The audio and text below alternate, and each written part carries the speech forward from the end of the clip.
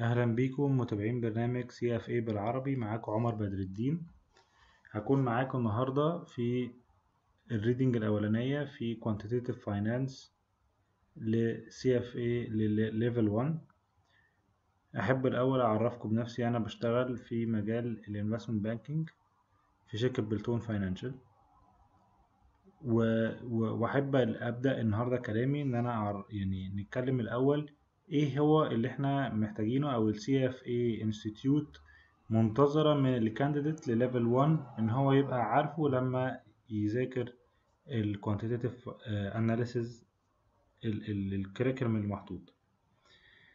ال CFA كانت واضحة جدا في الامتحانات اللي فاتت وفي ال material بتاعتها ان إن المنتظر من ال candidate اللي هو داخل level 1 إن هو يبقى عارف ال concepts وفاهمها كويس جدا.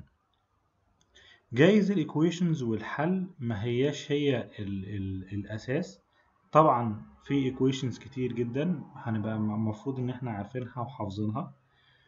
بس الأساس اللي هو ال concept إن إحنا نبقى عارفين إيه هو اللي بيتحرك.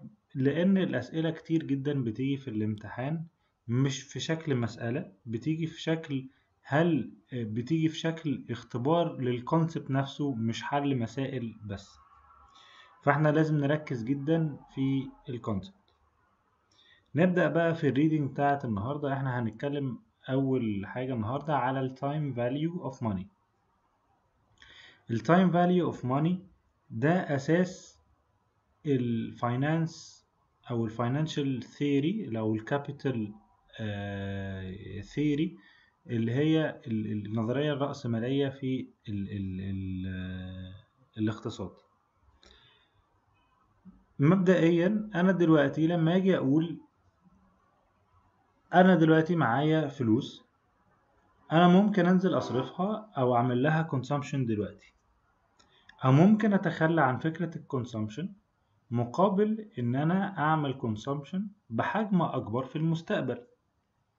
فبالتالي هنا أنا بقول ال... الوقت معايا لازم يكون ليه value معين. إحنا بنتكلم في ال reading الأولانية دي عن ال concepts بتاعة ال time value of money وهيبقى فيه تعريفات موجودة معانا كتير لازم نبقى عارفينها ولازم نبقى حافظينها بشكل كويس جدا إن هي دي هتبقى الأساس بتاع دراسة ال finance عموما ودي هتساعدنا في concepts كتير جدا هتساعدنا في ال valuation وهتساعدنا في يعني فهم أي مادة ليها علاقة بال finance وشغل ال financial analyst وشغل ال investment analyst هتساعدنا جامد جدا إن إحنا نبقى عارفين ال notions أو التعريفات دي. أول حاجة عندنا زي ما قلنا في المقدمة ال time value of money دي اللي هي قيمة الفلوس إن أنا ما استخدمهاش دلوقتي في الوقت الحاضر وإن أنا أأجل استهلاك الفلوس دي أو استخدامها في ال consumption لوقت في المستقبل. طيب أنا دلوقتي أول حاجة لازم أبقى عارفها إن في حاجة اسمها compound interest. دي أول تعريف بتبدأ ال institute تحطه قصادنا. دلوقتي ال compound interest دي إن النمو في الفلوس اللي بيحصل من فترة لفترة تانية في المستقبل ما بيبقاش بس على المبلغ ال ال ال الأصلي أو ال principal ده بيبقى كمان في interest على ال interest يعني مثال لو أنا دلوقتي واخد من البنك عشرة جنيه وكل شهر فيه interest compounded هاجي في الشهر التاني بدفع interest على العشرة جنيه زائد ال interest على اللي أنا كنت على ال interest بتاعت الشهر الأولاني لو أنا ما كنتش لسه دفعتها. فبالتالي في الحالة دي هي اسمها compound interest. علشان أفهم كمان ال time value of money في tool إحنا دايما بنستخدمها. ال tool دي اسمها time line ال time line ده عندنا دلوقتي إحنا عندنا حاجة هنا اسمها ال present value. ال present value ده القيمة الحالية بتاعة الفلوس. وعندنا في المستقبل عندنا حاجة اسمها future value. ال future value ده قيمة الفلوس في المستقبل. أنا لازم أنا منتظر مني إن أنا أستخدم أو أعرف أرسم time line بحيث إن أنا من لو أنا عندي ال present value أعرف أحسب منه ال future value. ولو عندي ال future value أعرف أحسب منه ال present value. ال future value ده ممكن يبقى قيمة معينة في وقت معين قدام أو ممكن يبقى عدة قيم في كذا وقت وعايز أعرف قيمة ال present value دي كام دلوقتي. وفي نفس الوقت برضو ممكن تبقى ال present value دلوقتي أعرفها أبقى عارف قدام ال cash stream أو الفلوس اللي هتجيلي بشكل منتظم لمدة معينة دي كام. ال concepts دي كلها إحنا هنعرفها وهنشوفها مع بعض واحدة واحدة وكلها هنستخدم فيها ال tool اللي إحنا اتعرفنا عليها دلوقتي اللي هي ال time line دلوقتي في equation إحنا لازم نبقى حافظينها دي أكتر من أسامينا. ال equation دي اللي هي ال present value بتساوي ال future value divided by 1 plus i power n. ال i دي اللي هي ال interest أو ال discount. ال discount rate اللي أنا بستخدمه علشان قيمة ال future value تمام تبقى تساوي ال present value.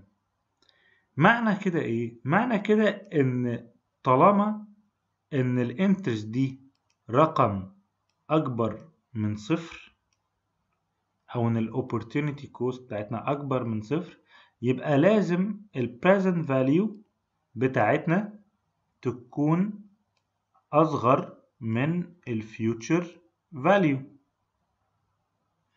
يبقى إحنا هنا عرفنا ال concept ده لازم نبقى حافظينه كويس جدا. إن ال present value لازم يبقى أصغر من ال future value. طالما إن ال أكبر من صفر. تمام؟ هننتقل للسلايد اللي بعدها. إن إحنا نبقى عارفين يعني إيه interest rate. ال interest rate دي ممكن تعرف لي إن هي ال required rate of return. يعني إيه ال required rate of return دي ال rate اللي أنا محتاجه علشان زي ما قلنا إن أنا ا forgo ال consumption بتاع دلوقتي لوقت من الأوقات في المستقبل فعلشان أنا أقدر أرضى بإن أنا ما أعملش consumption دلوقتي وأجله لقدام فأنا محتاج required rate of return.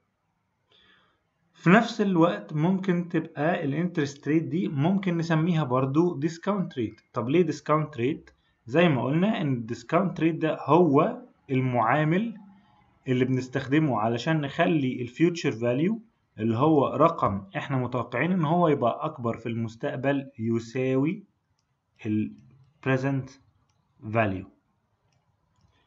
وعندنا تالت تعريف ليها ال opportunity. Cost. ال opportunity cost دي ال ال ال ال دي قيمة الفرصة الضائعة لينا. لو أنا دلوقتي معايا الفلوس أنا دلوقتي هي إحنا إحنا زي ما قلنا ال example إن أنا معايا فلوس دلوقتي عايز أعمل لها consumption فأنا مش هعمل لها consumption فبالتالي ال consumption اللي أنا. كنت هعمله وما عملتوش هو ده ال opportunity cost بالنسبة لي. فدي تعريفات لازم نبقى إحنا عارفينها حسب توجيهات ال society ولازم نبقى عارفين يعني إيه required rate of return يعني إيه discount rate يعني إيه opportunity cost. عندنا دلوقتي إحنا عايزين نعرف إن ال interest rate نحسبها إزاي؟ طب ال interest rate دي أكيد ليها components إحنا لازم نبقى عارفينها بشكل كويس جدا. ال interest rate قلنا إحنا ممكن يبقى نسميها ال required interest rate أو ال required rate of return أو ال discount rate أو ال opportunity cost أول حاجة أول component عندنا في ال discount rate هو بيبقى ال nominal risk free rate يعني إيه nominal risk free rate ده بيبقى ال risk free rate ال real من غير أي inflation plus ال expected inflation طيب نمسك component أول component منهم اللي هو ال real risk free rate ده بيبقى ال rate بتاع الفترة اللي أنا بحاول أتوقعها والفترة دي بتبقى مقابلة بحاول أشوف risk free security أو treasury bill مثلا في البلد اللي أنا عايش فيها تكون في نفس الفترة اللي أنا بحاول أعمل لها الدراسة. Assuming إن ال inflation zero طبعا إحنا في المشاهدات اللي هو في الحقيقة لما إحنا بنيجي نشوف ال treasury bills ال yield بتاعها كام ده بيبقى جواها component تاني اللي هو ال expected inflation إن الناس لما بتيجي بتسلف ال government بتسلفها بتحسب ال risk free rate plus ال expected inflation يبقى ال expected inflation ده هو ده ال loss بتاع ال purchasing power over ال term بتاع ال loan بتاعي أو ال over ال term بتاع ال analysis بتاعتي. إن أنا ال inflation زيادة الأسعار ممكن تخليني معرفش اللي أنا اشتري اللي أنا كنت هشتريه النهارده. فبالتالي أنا غير إن أنا لازم أتعوض بال risk free ال real لازم أتعوض عن الخسارة اللي هتحصل لي. إن أنا ال consumption بتاعي ممكن يقل بسبب ال inflation. لما نزود الاتنين على بعض يطلع لنا ال nominal free risk free rate عندنا تاني component اللي هو ال default risk premium ال default risk premium ده أنا دلوقتي لو أنا هسلف أي حد تاني غير ال government بتاعتي اللي هي بتضمن الفلوس هيبقى عندي نوع من أنواع ال risk تاني اللي هو إن ممكن ال ال ال الراجل اللي أنا مسلفه الفلوس أو الشركة اللي أنا مسلفها الفلوس ما تقدرش ترجع لي الفلوس دي تاني أو يحصل default فبالتالي أنا مقابل إن أنا أخدت risk بتاع default لازم أتعوض عنه ب premium معين علشان أرضى إن أنا أسلف الراجل ده ولازم ال rate ده يبقى أعلى من صفر. في عندنا بعد كده ال liquidity risk premium ال liquidity risk premium ده أنا دلوقتي لو عندي security واضطريت مثلا أنا أنا شاريها على أساس إن ال maturity بتاعتها كمان سنة. بس اللي حصل إن أنا عايز أبيعها في خلال شهر. اللي هيحصل إن أنا ممكن أروح أحاول أبيعها لحد ما أقدرش أبيعها ولازم أعمل ساعتها بقى discount في ال price جامد جدا علشان أعرف أبيعها.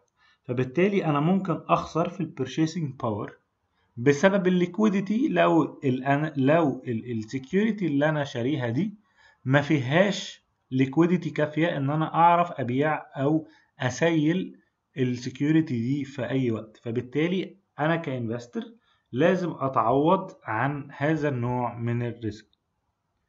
عندنا آخر حاجة ال maturity risk premium ال maturity risk premium دي ممكن تحصل في securities اللي ال maturity بتاعتها ممكن تتغير. فبالتالي دي هتأثر على ال liquidity وهتأثر على ال expected cash flows بتاعتي وبرضو ده نوع من ال risk اللي أنا لازم أبقى حاطه في حسابي علشان لازم أتعوض عليه إن أنا أخدته.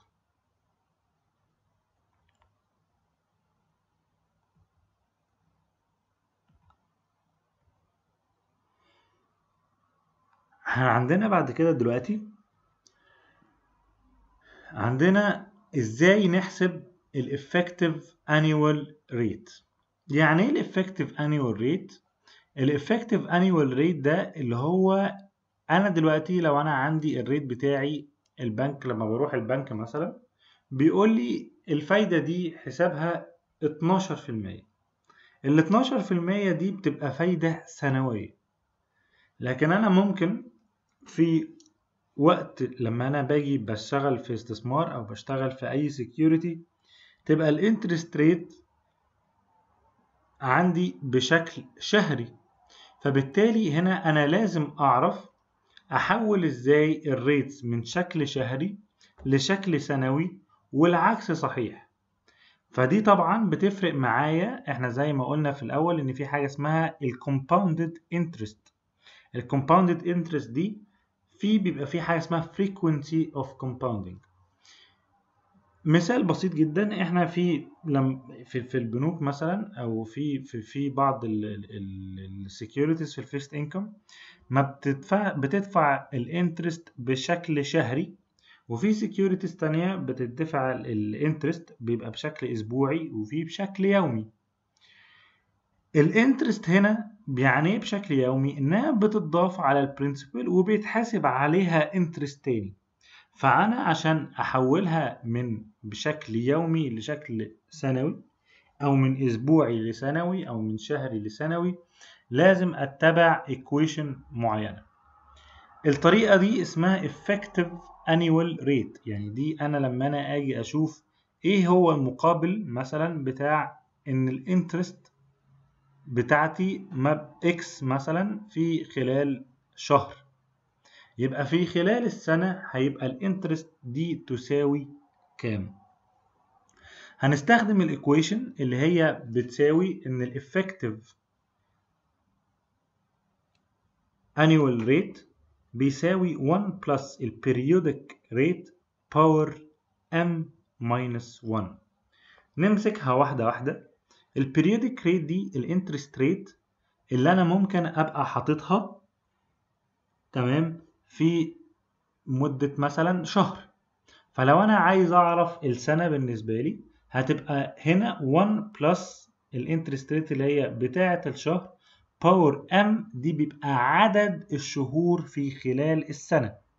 لو أنا شغال أسبوع ال m دي هتساوي عدد الأسابيع خلال السنة. لو أنا شغال بشكل يومي ال m دي هتبقى عدد الأيام في خلال السنة. طيب ال periodic rate ال periodic rate أنا دلوقتي ممكن يقول لي إن ال rate بتاع البنك 12% ال 12% دي هتوزع interest بشكل شهري يعني ال m بتساوي 12 يبقى أنا علشان أعرف ال periodic rate لازم أمسك ال 12% دي أعملها divided ال 12 يبقى أنا ال month بتاعي ب 1% يبقى 1 plus 1% power 12 minus 1 ال rate ده هيساوي اللي هيطلع لي في الآخر ال rate ده هيطل... هو هيبقى ال rate السنوي اللي هو لو أنا أخدته لمدة سنة واحدة هيطلع لي نفس النتيجة. طب ما تيجي نشوفها كده لو إحنا عملناها على time line وهنشوف إيه الفرق ما بين الاتنين. دلوقتي لو أنا عندي لمدة سنة عندي أنا دلوقتي دي ال present value وعندي أنا في security هتديني في خلال السنة هتديني بشكل ربع سنوي أو كل 3 months. فيبقى بالتالي عندي 4 ال compounding periods. ال interest بتاعتي هتدفع كل ربع سنة فبالتالي عندي أدي في أول ربع عندي interest في تاني ربع وفي تالت quarter وفي ال quarter الرابع هاخد interest فبالتالي أنا دلوقتي عايز أعرف إيه هو ال rate اللي هو أنا لو أنا أخدته من ال present value وعلى طول استثمرت بيه ال rate ده وأخدت مرة واحدة وان شوت الكاش بتاعي. هو ده ال EAR أو ال Effective Annual Rate اللي أنا مفروض أستخدمه علشان يطلع لي نفس النتيجة لو أنا كنت هستخدم نفس الفلوس دي في الحالة الأولانية.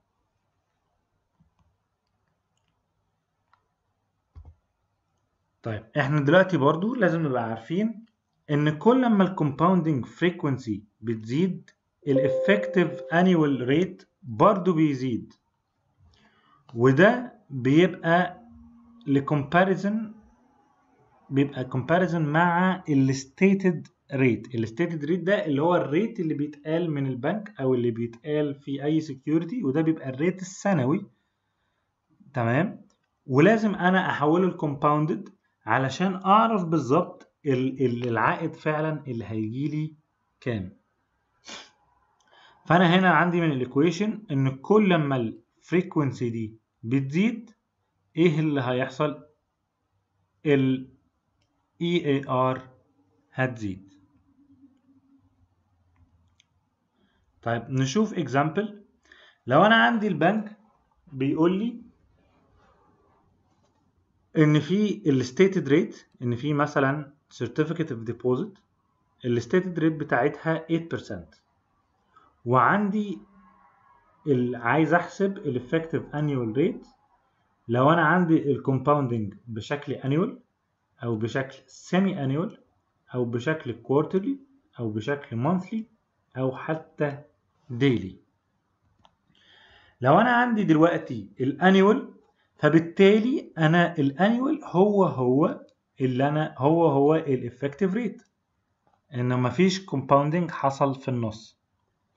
طيب لو بشكل semi annual ال periodic interest rate زي ما قلنا بتبقى ال interest rate اللي هي ال 8% divided by عدد ال compounding في النص. فلو هي semi annually هتبقى 8% divided by 2 هتساوي 4 هنعمل 1 plus 4 power 2 minus 1 هتطلع 8.16 طب ده معناه إيه؟ إن أنا لو أنا استثمرت في ال security دي ب 8% وال compounding frequency مرتين في خلال السنة هي هي لو أنا كنت استثمرت نفس الفلوس على 8.16% بشكل annually ال concept ده يا جماعة لازم نبقى كلنا عارفينه إن هو ده أساس ال finance. نفس الكلام لو هي كانت quarterly 8 divided by 4 equals 2% 1 plus 2% to the power of 4 minus 1 equals 8.24% هناخد بالنا إن إحنا كل ما ال compounding frequency بتزيد وبتزيد من هنا واحد اتنين أربعة اتناشر تلتمية خمسة وستين. كل ما ال frequency دي بتزيد كل ما ال effective annual rate بيزيد معايا لنفس ال 8% ال stated rate يبقى إحنا هنا لازم نبقى عارفين ان إحنا لما يبقى ال stated rate يبقى زي بعض ال effective annual rate هتبقى أعلى لل compounding frequency الأكبر. وده concept لازم نبقى حافظينه وعارفينه كويس جدا. طيب أنا دلوقتي لو أنا عندي ال compounding periods حاجة تانية غير annual. لو أنا دلوقتي عايز أحسب ال effective annual rate بس ال rate اللي مديلي مثلا لمدة سنتين. تمام؟ فأنا هضرب ساعتها m times n. عندنا concept تاني. هنا ال n دي اللي هي number of years. عندنا concept تاني لازم نبقى عارفينه اللي هو continuous compounding. ال continuous compounding دي معناها إن ال... إحنا عندنا أصغر حاجة قلناها دلوقتي ال compounding بشكل يومي. في نوع من ال compounding تاني اللي هو ال compounding ال continuous أو المستمر. ال compounding المستمر ده لو إحنا قعدنا نزود عدد ال compounding frequency بحد شكل معين فبالتالي هيبقى اسمه يعني بيجي عند مرحلة معينة. ال equation بتاعت ال effective annual rate ما بتزيدش بشكل كافي. فبالتالي هنا بنعوضها هنا بال concept اللي هو E. ساعتها هنا بتبقى ال equation بتتغير بتبقى e to the power of r times t minus 1 t دي هنا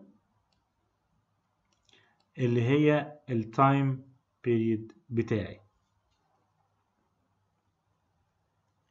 طيب هنا دلوقتي لو إحنا عايزين مثال لو إحنا عندنا دلوقتي نفس ال- المثال اللي فات لو كانت ال stated rate 8% إزاي نحسب ال effective annual rate لو هي كانت compounded بشكل continuous هنحسب على ال calculators بتاعتنا إن ال effective annual rate بتساوي ال e to the power of 8 minus 1 equals 8.3287 طب هنا دلوقتي أنا استخدمت e to the power of 8 ال t عندنا هنا كانت مش موجودة علشان إحنا هنا شغالين for one year. إن ال إن ال stated rate دي 8% for one year. فبالنسبة لي ال t كانت تساوي 1 طيب دلوقتي أنا عايز أعرف إيه ال ال ال ال future value وال present value of money وعايزين نعرف كمان concept اسمه ال ordinary annuity وحاجة اسمها ال annuity due وال perpetuity وال series وإزاي نحسب ال time value examples. فقلنا هنا دي إحنا لازم هنستخدم فيها إحنا عايزين نفتكر هنا ان دي حاجة إحنا لازم نبقى نستخدم فيها ال tool اللي إحنا قلنا عليها اللي هي ال time value of money فأول حاجة عندنا لازم نبقى عارفينها اللي هي ال annuity annuity. دي معناها stream of equal cash flows بت accrue أو بتدفع في equal intervals. يعني لو أنا عندي product بتدفع 10 جنيه مثلا بشكل يومي لمدة سنة. يبقى أنا بالتالي دي اسمها annuity. ال annuity ممكن تبقى بشكل يومي ممكن تبقى بشكل أسبوعي ممكن تبقى بشكل سنوي وممكن حتى بتبقى بشكل compounding.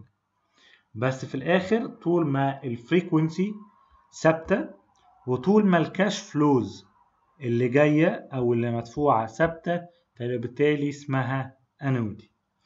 إحنا عندنا نوعين من ال annuities عندنا نوع اسمه ال ordinary annuity وعندنا نوع تاني اسمه ال annuity due إيه الفرق ما بين الاتنين؟ لو القسط الأولاني من ال annuity بي occur كمان شهر من ال present value يبقى هو اسمها ال ordinary annuity. لو كان القسط الأولاني بي occur يوم ما ابتدينا ال analysis بتاعتنا يبقى اسمها annuity due. طب إحنا لو جينا رسمناها دلوقتي على ال ال ال timeline بتاعنا إحنا دلوقتي عندنا هنا ال present value دي النقطة zero time equal zero دلوقتي اللي هو دي ال current time وعندنا ال timeline بتاعنا.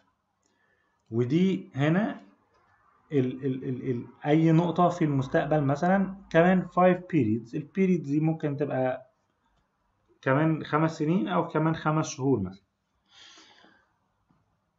لو أول payment بتستحق في ال period number 1 يبقى دي عندنا هنا ساعتها اسمها ال ordinary annuity.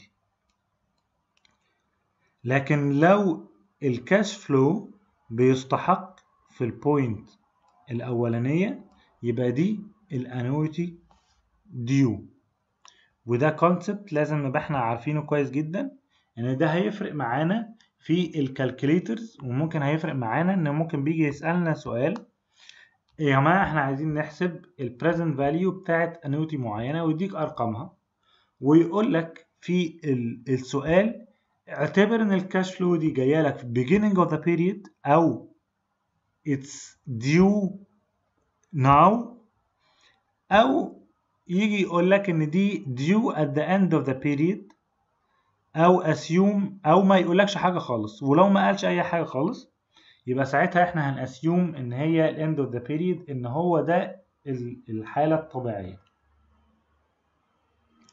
طيب إن إزاي أحول الانويتي ديو لانويتي لل ordinary أو العكس؟ ال ordinary annuity لو ضربناها في 1 plus r تساوي ال annuity due في نفس الوقت ال future value بيساوي ال ordinary annuity times 1 plus r طب ده معناه إيه؟ زي ما إحنا قلنا في ال timeline دايما ال annuity due سابقة ال ordinary annuity بشهر إن الفلوس بتدفع بدري شهر أو بدري 1 period فعشان كده أنا دايما بضرب ال ordinary annuity بضربها في 1 plus r علشان تساوي annuity due علشان تحصلها وفي الآخر يبقوا نفس ماشيين في نفس ال timeline لما نيجي نشوف example دلوقتي لو أنا عندي 5 year annuity فيها series of payments البيمنت الواحدة ثابتة ب 300 دولار وتدفع at the beginning of each of the next 5 years. معنى كده أنا بقول ال beginning. beginning يعني إيه؟ يعني دي annuity due. لو ال discount rate 8% أنا عايز أحسب ال present value. يبقى ال solution بتاعي the calculation إن أنا ممكن أحسبه. أنا هحسبها ممكن إن أنا أحسبها في ال calculator بتاعي. ال calculator بتاعي بشكل اوتوماتيك بيحسبها على ال end mode يعني إيه ال end mode يعني بيحسبها على ال ال ال ال يعني على نهاية المده أو بيحسبها annuity ordinary يبقى الرقم ده هو ده اللي هيطلع لي في ال calculator لو أنا حطيت إن ال cash flow بتاعي بيساوي 300 وحطيت إن ال rate بتاعي بيساوي 8% هقول له يحسب لي compute ال present value هيطلع لي الرقم ده. طب لو أنا عايز أحول بقى الرقم ده عايز أحوله ل ordinary annuity هعمل إيه؟ هروح عامل divided by 1 plus r أو 1 plus 8% هي هي لو أنا كنت طلعتها من ال calculator وعملت ال mode بتاعي في ال calculator عملته آه عملته at, at the إيه beginning. يبقى أنا بالتالي بالنسبة لي إن ال present value بتاعت ال annuity due بتساوي ال present value بتاعت ال ordinary annuity 1 plus r يعني هو لو أنا كنت استخدمت ال end times 1.08 بتساوي هو هو نفس الرقم لو أنا كنت استخدمت ال calculator وطلعتها بشكل اوتوماتيك وعملت في عندي في ال calculator إن أنا شغال في ال beginning mode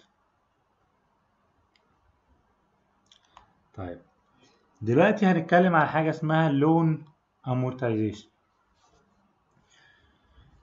ال loan amortization دي ال process of paying off a loan with a series of periodic loan payments.